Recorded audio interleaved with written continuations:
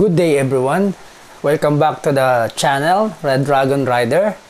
So, meron akong isi-share sa inyo guys. Naranasan nyo na ba yung uh, wala kayong panahon na magpagawa ng motor nyo tapos pinagkatiwala nyo to sa iba tapos uh, na ipagawa.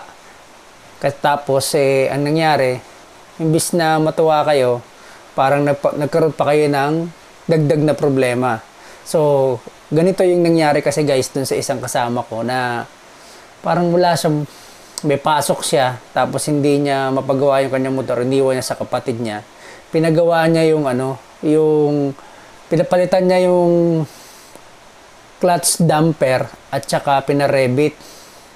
Eh mukha naman hindi maganda yung pagkagawa kasi nung ginamit niya na parang hindi siya masaya kaya kinontak niya ako para samahan kila Hepe para ipaayos dun kay Hepe mismo yung kanyang motor. Essay din pala motor niya guys. So, ito yung nangyari nun. Good morning guys. Welcome to the vlog. Red Dragon Rider. So, nandito kami ngayon sa after ship drive. So, nandito kami kila Hepe. May kasama ako ngayon galing sa tawag nito. Galing kami ng Kabuyaw, Laguna. No? So, ayan, ito yung motor niya. Version 1 din na SA. Tapos sa akin din version 1 na SA. Bale, ang issue niya dun sa kanyang motor, makalampag na. So, actually nakipag uh, ano na siya dito, nakipag appointment na. Ang papapalitan niya damper ata o lining. Basta sa may clutch, no? Sa may clutch. Tapos ako, ako naman, magpali magpapa-tune up ako. Kasi ngayon lang, may napansin ako na pag binibir ako ng ganun, may natunog kasi guys, itong mga nakarang araw kasi pare, yung starter ko singaw. Yung Ah, uh, yan. Uh, siguro lumiit yung konti na yung langis, kaya gumagano na. Dito yan, dito yan. Oh. So yan, sarado pa sila hepe kasi, kasi dito kasi guys, first come first serve, no? So inagahan na namin. Actually nandito kami 6:20. Malis kami ng Kabuyaw 4:30. Oh, buti buti na una kami kasi pagkain namin may kasunod na kaagad ayan oh. May nakapila na FC. So at least mauna kami para maaga kami makauwi mamaya ng Kabuyaw. Ayan oh, nakasalang na yung motor na kasama ko oh. So bubuksan ni Hepe ito mamaya para malaman kung alin mga babag ano dyan. Alin ang mga gagawin.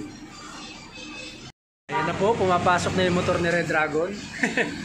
sasalang na sa operasyon. Yun. Tune up lang naman tayo guys. Papa-tune up lang. Eh, dalawang linggo pa lang eh. Ha? Dalawang linggo pa lang. Ay, noon. Pala. kaya pala. Kaya pala, kaya pala, saan last two weeks pa na yung ano sa akin ito. Manantis ko kay... Sabi ko, sabi eh. niya, pupunta ka ba nung Hepe? Ba't sasama ako sa'yo? Ba't paano ko yung class lining ko? Okay pa, okay pa sa plating? Oh, okay. Damper ata problem. Ayun yun, re-rebit ba? Rebit? Yung nga sabi ko eh, kasi sabi ko ba't tumutunog naman to? Ayun pa, i-rebit lang. Ang sabi niya utol, pinalitan niya, bakit yan to? Hindi pa nga nakalako. Oh, kita mo. Kasi, tinan Ginamit niya, pinagawa niya sa iba. Sabi ko tol, pagawa mo kami. Hindi, ibig ko sabihin yung tools niya katulad nung ginagamit ni Hepeng pangtanggal. Oh, hindi ko napansin kasi. Oh, kasi Ginagawa minsan pagka wala kang gamit, hindi mo talaga Masama ma- loob mo ha. Oh. Hindi ito rinibit. Ay, rinibit pero yung rinibit na gamit. Mahina. Hindi ganun. Hindi siya pulido, kumbaga. Yung grinder pa. oh. Oh. Wala. You came to the right place. Kaya nag... Ano yung assessment mo sa kanyang ano, clutch housing? Makikit, mapa-access to sa loob. Ah, bali, alin ang bubuksan yung nandun o ito? Ito, ito. Ah, bubuksan pa yan. Yun okay doon, good yun.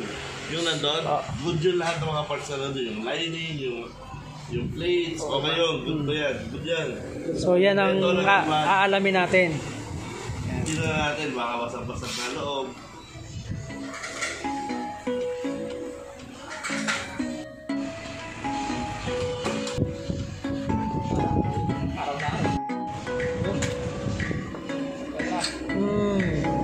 Eh, oh. Oh. Oh. Nangyari? Alam mo, original to. Tatlo lang ba talaga yan? Ah, kala ko ba original to? Gusto lang 20 eh. o yung biyak na. Oh. Ibig sabihin niya basag na, no? Sa? Sa original. Kasi yung original, merong parang may number. Mamaya makikita din.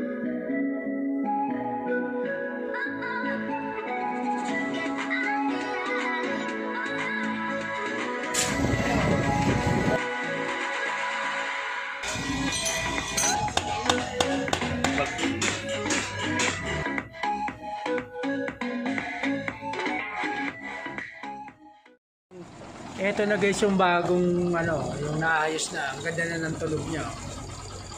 Makina. Tingnan natin. Oh. Yan.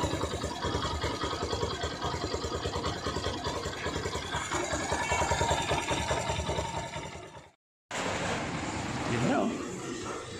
Ganda na ng tunog. Oh, ano, layo kanina. Sa totoo lang, oh. Kanina malayo pa, ma- ma- ma- maramdaman mo na yung ano eh. Ikaw, oh, okay, ramdam mo yung tunog eh. Ito, pino. Parang nandito matakbo, no? no? Tahimik.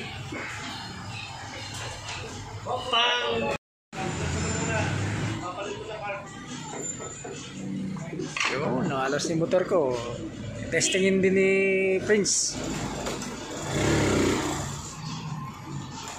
Ah, si Mitchell, papasok na!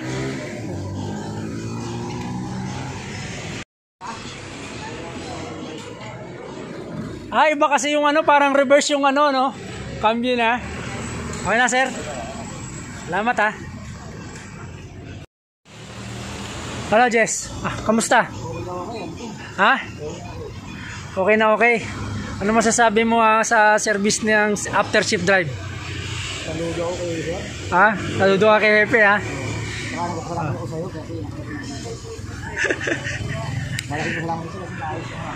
Oo. Oh, ma iba talaga pagka palagay ka sa motor mo eh, yung walang hindi na maingay, no? Oo. Maraming salamat ko sa Kaya after shift drive, yan. Na mga, ano yan, yan talagang legit na mekaniko ng SA, pare. Tahimik na to. Oh, di ba? Makakauwi na tayo ng kabuyaw. so guys, pagka may kailangan kayong ipagawa sa motor nyo, dito na kayo pumunta. After shift drive guys. Hindi kayo magsisisi. Ah, makakakuha kayo ng tamang advice at mga pyesa basta mag ano mag-message muna kayo kung ano para yung piyesang kailangan nyo mapoprovide nila. Lalo na kung mga major na patatrabaho katulad ng clutch lining brake ah damper yan. O kaya top overhaul yan. So itong kasama ko si Jess Files ano to galing ng Kalubang. Ni-message niya ako ah, through my Facebook page sa Red Dragon Rider. At ayun ah, nagkausap kami eh, nataon naman na wala akong pasok at ah, pupunta rin ako para magpa-service. Papasabay siya. So, laking tuwa niya. Laking tuwa niya talaga sa nangyari sa motor niya ngayon kasi Siyempre, iba talaga yung tatakbo ka na palagay ka sa motor mo eh. Kesa hindi mo maka, hindi ka mapakali kung ano ba yung tunog na yun, ano, bakit ganun ang nangyayari. Oo, so guys, ah, salamat sa viewers natin dyan. So, susunod na video ulit. Wala yan. Ayan si Jess, eh, kasama namin. Tapos na siyang magpaka-service kay Hepe. So, pauwi na kami ng Kabuyaw.